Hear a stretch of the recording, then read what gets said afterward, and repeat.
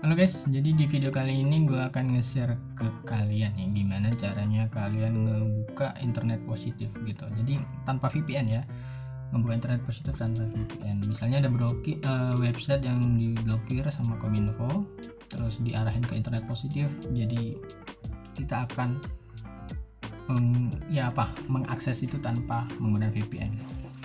Caranya adalah kita menggunakan DNS. Gimana sih cara nyetingnya? Jadi jadi nggak nggak pusing-pusing nggak ribet-ribet ya.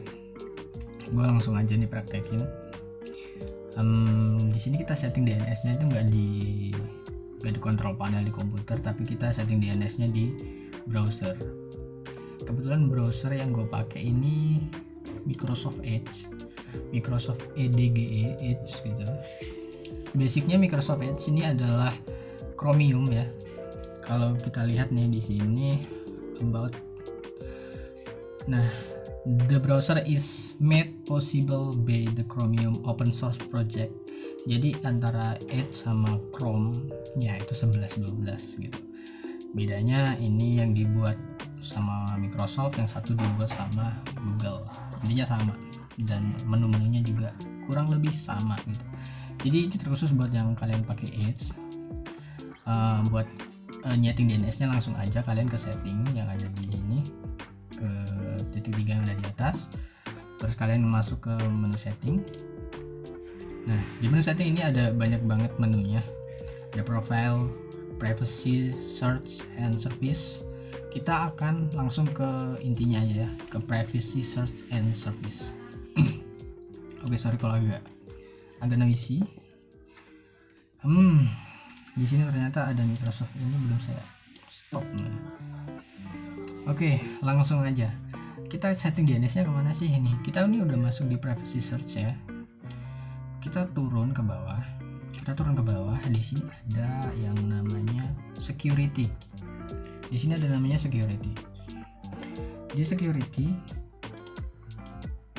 ada yang namanya settingan DNS domain name server. Kalau nggak salah ya itu namanya terus kita ini kalau yang kalian masih default kalian masih default ini use current service provider. Kalian biasanya pakai ini. Nah, oke. Okay. kita akan rubah ke choose uh, service provider. Provider. Oke. Okay. nah di sini di sini ada pilihannya ada open DNS ada Cloudflare ada clean browsing naik DNS ada Google Public DNS nah misalnya nih kalian masuk ke situs yang diblokir sama Kominfo.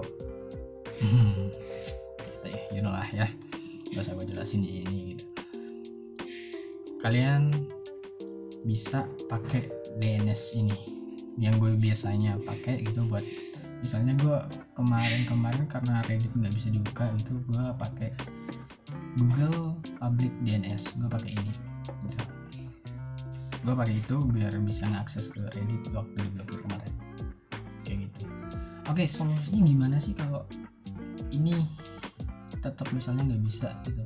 Kalian bisa pakai VPN tapi overall selama gue pakai browser Edge gitu gue tinggal cuma setting ini doang gitu karena gue nggak terlalu banyak pakai uh, hal-hal yang aneh-aneh gitu. Paling Reddit dan itu ya udah setting DNS ini udah kelar gitu. Jadi nggak perlu aneh-aneh VPN apa segala. Oke. Gimana kalau gimana kalau di HP di HP gue pakai biasanya ini nih. Proton VPN biasanya gue pakai Proton VPN kalau di HP itu kalau VPN padahal sebenarnya gue nggak usah pakai Proton VPN juga buat ngakses yang sama misalnya di browser gitu. Sama. Di di mana? Di browser yang ada di smartphone juga bisa gitu. Nanti gue akan kasih tutorialnya. Mungkin gue sisipin di sini karena gue ngerekam pakai kamera HP juga. Nanti gue tutorialan gue kasih tutorialnya di HP kayak gitu. Jadi kalian bisa setting DNS nya aja kalau di browser. Ya lihatlah tuh ini internet positif ya. Ini kalau gue lanjutin nanti hmm, bahaya redditnya udah bisa kebuka aman gitu kan. Intinya sini aja setting DNS ini kan Edge kalau Chromium gimana bang? Gitu. Sama kalian cari aja gitu gimana sih cara setting DNS gitu. Coba ya gua searching cara cara custom. Nah custom DNS di Google Chrome lihatlah. Nih ada Surabi. Gimana cara settingnya?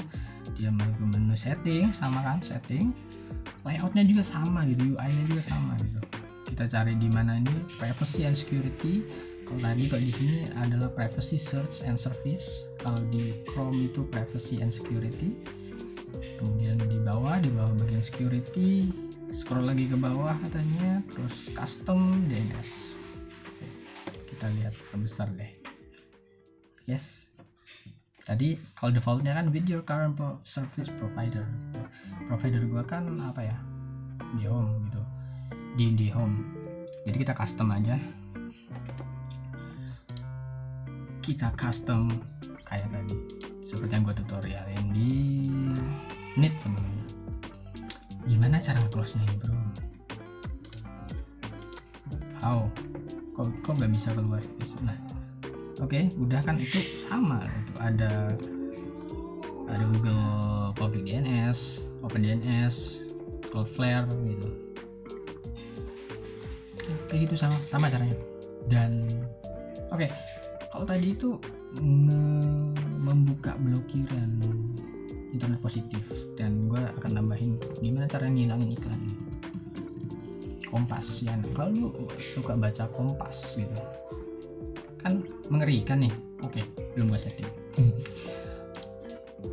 Oke gue refresh dulu kan. Nah gue refresh. Gimana sih guys iklan-iklannya ini kok meresahkan gitu? Sih sih sih angin lagi susah kayak nah iklannya datang deh. Gimana caranya? Kita sampai kita sampai nggak bisa nih bedain mana yang iklan mana yang konten gara-gara iklannya bejibun. Lihat iklan iklan iklan semua. Gimana kita cara ngilangin iklannya? Terkhusus ini di Microsoft Edge. Jadi gue akan nge-share ini gitu. Jadi sekalian aja kan. Gue biasanya sama lagi nih di setting di setting kita pergi ke atas kita pergi ke bawah lagi ke setting kita ke privacy and search lagi gitu. terus kita pilih nih tracking prevention.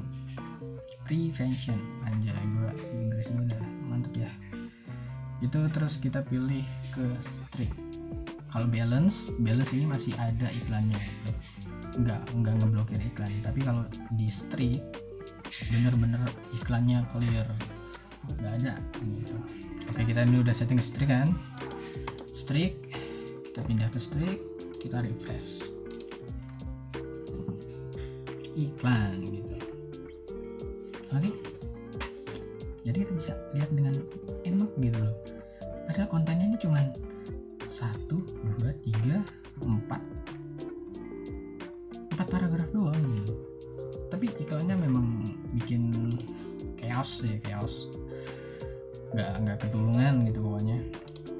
Jadi caranya tadi gitu. Jadi ke setting ke ke bagian privacy kalian pilih aja strict atau basic mode kayak gitu hmm kalau soal iklan ini kalau di apa Google Chrome kalian coba aja kutik-kutik sendiri mungkin ada yang sama. Soalnya ini karena basicnya itu sama juga kayak Chrome Chrome juga gitu cuman beda tampilan gitu.